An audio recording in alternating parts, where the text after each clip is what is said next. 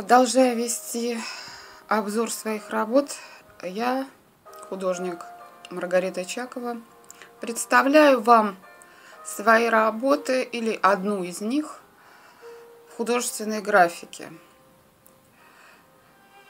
Эта графика, э, в принципе, не так уж и легка, если честно, в исполнении и далась мне тоже по случаю. Я купила угольный карандаш для того, чтобы подписывать холсты. И в один прекрасный день решила попробовать что-нибудь им нарисовать на бумаге. Было очень много работ, какая-то хотела достичь чего-то в этом. Честно говоря, меня увлек угольный карандаш. И так и получилось. Удивительная, я считаю, работа. Называется она «Трейсери».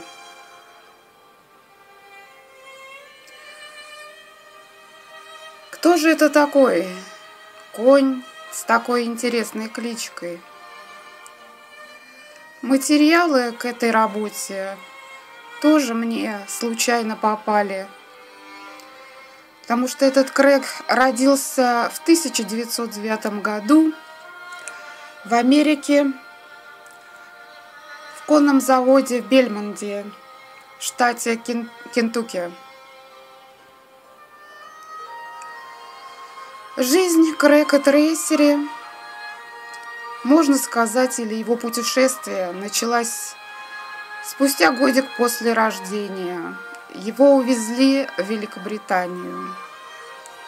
Там Трейсери стал стайером, и его карьера в 3-4 года напоминает другого стайера, Суинфорда тоже легендарного коня.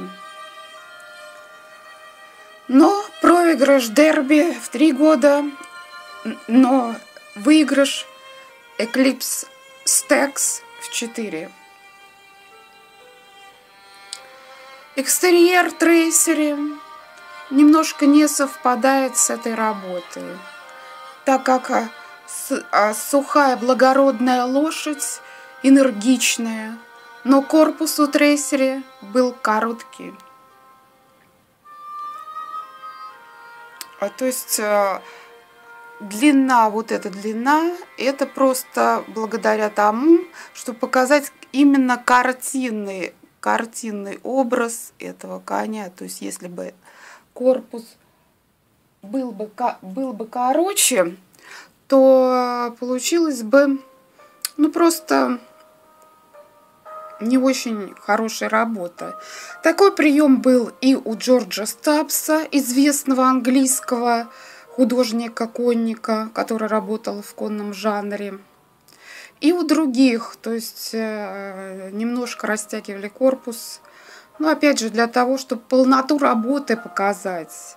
То есть вставить эту работу вот именно в картину.